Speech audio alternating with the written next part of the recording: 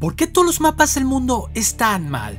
Seguramente estás familiarizado con algunos de estos tipos de mapas, pero como bien sabes, la Tierra es una esfera, y tratar de representar su superficie en un plano es prácticamente imposible sin terminar deformándola en el proceso. A lo largo de la historia se han creado miles de formas para intentar representar la superficie terrestre lo más fiel posible, pero la proyección Mercator es sin duda la que se ha convertido en la más famosa de todas. Una de las razones por la que esta proyección es tan popular es porque tiene la capacidad de preservar la forma de los países. Por ejemplo, Brasil en el globo tiene la misma forma que en la proyección Mercator, lo que facilita la navegación en línea recta entre dos puntos, pero el mayor problema de la proyección Mercator es de que falla completamente en la representación del tamaño. Si comparamos Groenlandia con África en el mapa Mercator parecieran tener el mismo tamaño, pero si miramos desde un globo nos daremos cuenta que el verdadero tamaño de Groenlandia es 14 veces menor que el de África. Esto se debe porque los países alejados de la línea del Ecuador van a tener una proporción más grande de lo normal en el Mercator.